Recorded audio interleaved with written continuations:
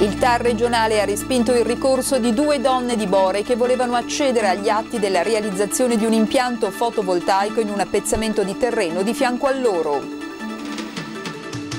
È previsto nella nostra regione un mese di sciopero nel settore poste, lo hanno comunicato i sindacati CISL, WIL e Consal denunciando gravi e continue inadempienze aziendali. Il comune di Valmozzola ha stipulato una convenzione con la scuola per garantire il pasto in modo corretto senza l'ingresso di operatori privati come avviene in altre scuole parmensi. Cambio della guardia nel Consiglio Comunale di Valmozzola, Giovanni Cupri della minoranza si è dimesso e al suo posto subentra il giovane Stefano Del Nevo, classe 1987. Tutti in campo sabato pomeriggio per sostenere la LILT e lanciare un messaggio importante. I tumori si possono sconfiggere. Per l'occasione è stata organizzata un'applaudita sfilata di moda. Il Consiglio Comunale di Berceto ha sostituito il revisore legale del Comune al posto di Nicola Cattaneo, dimissionario, è stata nominata Ivana Pomelli di Parma. Un sostegno per il polo telematico formativo di Borgotaro è giunto dalla Fondazione Cari Parma, ha assegnato il contributo per garantire lo sviluppo della struttura.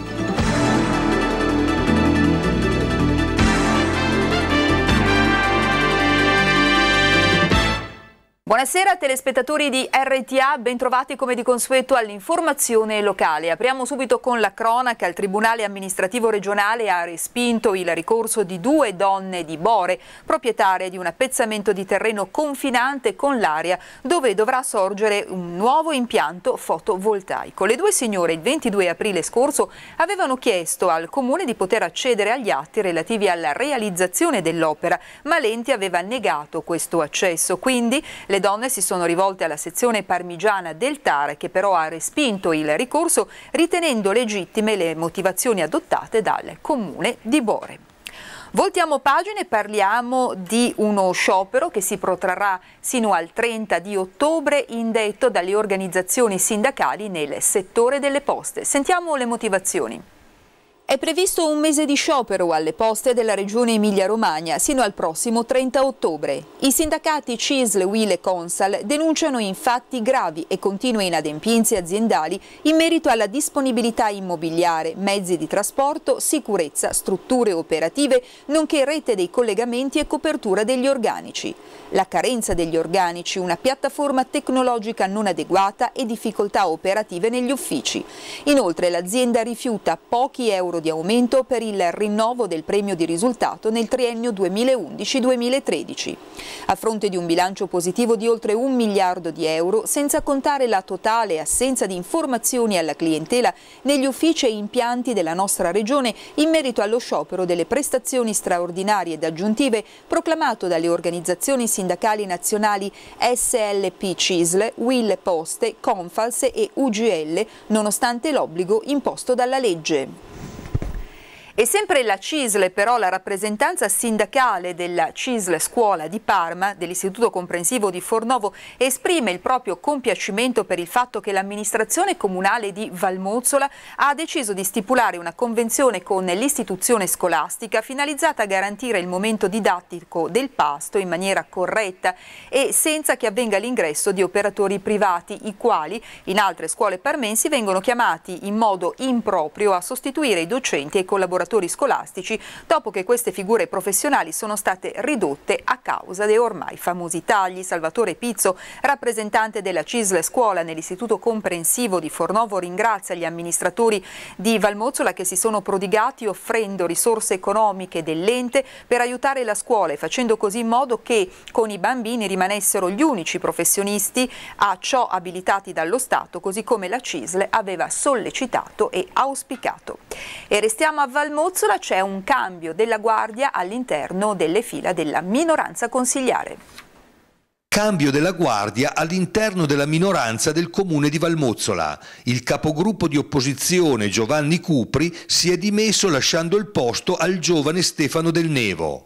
Candidato sindaco nelle ultime due elezioni e con alle spalle precedenti esperienze in consiglio comunale, Cupri ha deciso di passare la mano per favorire il rinnovamento. Sono tantissimi anni che io mi sono occupato di politica qui nel comune di Valmozzo, ho fatto sempre l'opposizione e non è che, che abbia eh, grandi mh, mm, dichiarazioni da fare, penso che a un certo punto della vita amministrativa anche della vita fisica si, si, deve essere il ricambio. Io l'ho fatto soprattutto per favorire nuove esperienze che entrano in amministrazione e in questo modo credo di garantire anche il proseguimento della politica che noi abbiamo proposto in questi anni qua.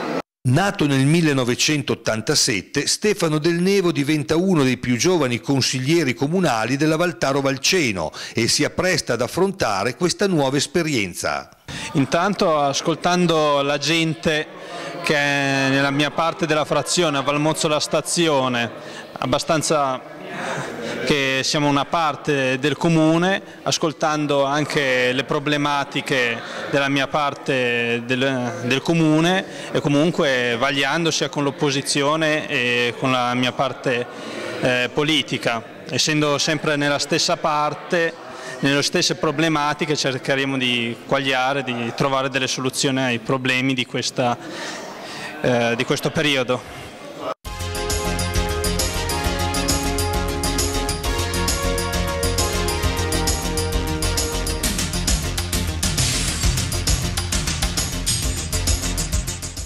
Ed ora siamo allo spazio Ausle in forma, molto ricco questa sera, iniziamo però con la bella sfilata di moda che è stata organizzata a Borgotaro a sostegno della LILT.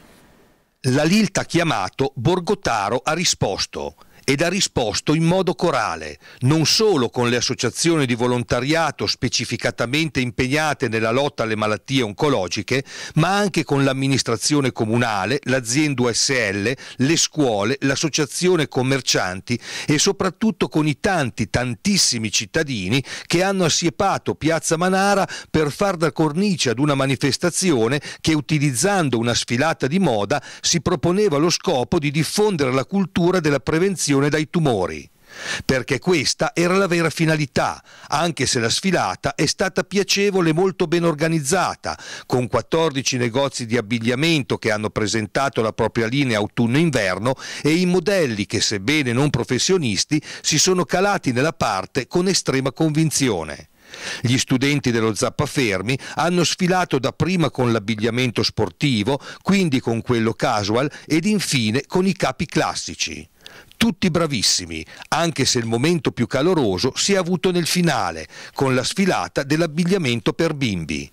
Serissimi e composti, i piccoli indossatori sono riusciti a catturare la simpatia del pubblico scatenando l'entusiasmo dei presenti. Pomeriggio bellissimo, riuscitissimo, grazie all'impegno dell'Associazione del Volontariato che insieme alla LILT hanno organizzato questo evento simpatico ma altrettanto significativo, dedicato alla prevenzione, dedicato al mese rosa appunto per l'informazione e la prevenzione dei tumori. Un'iniziativa importante che ha visto ancora ancora una volta insieme tutta la comunità borgotarese che ha risposto, ha risposto numerosa, ha risposto convinta, speriamo anche risponda in termini di impegno per la prevenzione. E proprio sulla necessità di osservare le pratiche preventive hanno insistito i medici che sono intervenuti all'inizio della manifestazione, perché, è stato detto, oggi con le malattie oncologiche si può convivere. Ho sentito un, un oncologo illustre dire che lo scopo è quello di cronicizzarla, vuol dire poter vivere e, e, e, controllare tutti i problemi che può dare questa malattia senza averne paura. Questa è una delle cose principali. Il nostro scopo è questo ed è quello soprattutto di divulgare quest'idea. Abbiamo ambulatori che lavorano gratuitamente, non occorre neanche la prescrizione del medico, basta telefonare per prenotarsi. Purtroppo, troppo spesso, la gente eh, non viene, non viene perché ha forse paura di sentirsi dire di avere una, questa malattia, ma non è così. La prevenzione che si fa soprattutto, anzi principalmente attraverso la diagnosi precoce è fondamentale.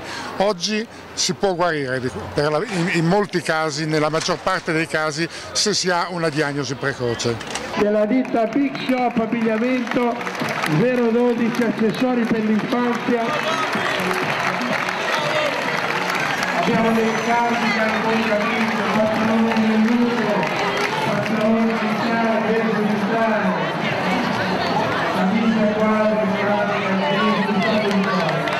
guardate quanto è importante la piccola abbigliamento e accessori per l'infanzia in viale Bottego 19 nel prossimo servizio torniamo a parlare della giornata nazionale contro il dolore che si ehm, terrà in ben 29 piazze italiane domenica prossima 16 ottobre. A questa iniziativa aderiscono anche azienda USL, ospedale Santa Maria di Borgotaro e l'Hospice La Valle del Sole di Borgotaro.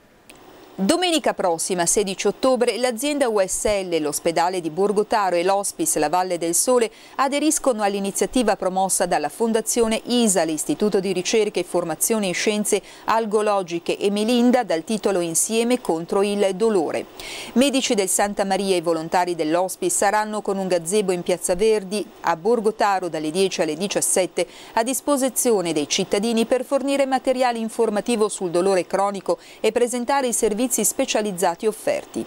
L'iniziativa, che si tiene contemporaneamente in altre 29 piazze d'Italia, è finalizzata anche alla raccolta fondi destinati da ISAL alla ricerca. Con un'offerta di 5 euro minima sarà possibile acquistare mele melinda.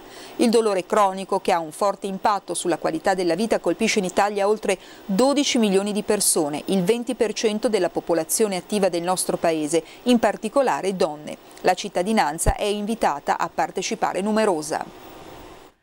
Prosegue e anche intensamente l'attività degli ispettorati micologici dell'azienda USL nel nostro distretto sanitario Valli Taro e Ceno per riconoscere le, le, specie di funghi che vengono presentate da chi li raccoglie oppure da chi li deve vendere. Sentiamo. Prosegue l'attività degli ispettorati micologici del Servizio Igiene, Alimenti e Nutrizione del Dipartimento di Sanità Pubblica dell'azienda USL per la certificazione sanitaria per la vendita al dettaglio e alla somministrazione dei funghi freschi spontanei e per il riconoscimento delle specie fungine raccolte per il consumo diretto. Non esistono infatti metodi empirici per riconoscere i funghi commestibili come ad esempio le prove dell'argento, dell'aceto e del latte. L'unico modo per essere tranquilli è quello di far controllare i funghi funghi dagli ispettori micologi dell'AUSL. Il servizio è gratuito. L'ispettorato di Borgotaro in via Micheli 2 per la certificazione di vendita e somministrazione bisogna prendere appuntamento chiamando lo 0525 970 266 970 324 970 326. Per la certificazione di commestibilità per l'autoconsumo il servizio è diretto. È sufficiente presentarsi il lunedì dalle 8 alle 10, il martedì e il giovedì dalle 14 14.30 alle 17.30, il venerdì dalle 8 alle 10 e dalle 14.30 alle 17.30. Per ottenere la certificazione sanitaria per la vendita al dettaglio e la somministrazione, i funghi presentati al controllo devono essere suddivisi per specie contenuti in cassette o altri imballaggi da destinare alla vendita. I funghi devono essere disposti su di un solo piano e non eccessivamente pressati. Devono essere freschi, interi, sani e in buono stato di conservazione, puliti dal terriccio, foglie e da corpi estranei. Per il riconoscimento delle specie fungine per il consumo diretto, i funghi devono essere presentati alla vista in contenitori rigidi e forati. Devono essere freschi, sani, in buono stato di conservazione, interi, non lavati né privi di parti essenziali al loro riconoscimento. Devono provenire da aree non sospette ed esposizione a fonti di inquinamento chimico o microbiologico. L'intero quantitativo raccolto deve essere sottoposto all'esame di commestibilità nel più breve tempo possibile. E con Ausl Informa di questa settimana è tutto.